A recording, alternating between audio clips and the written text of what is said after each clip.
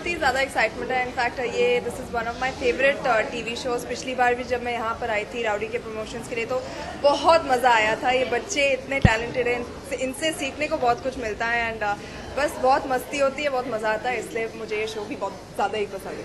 है not only kids you know कि film for kids is a very very strong market and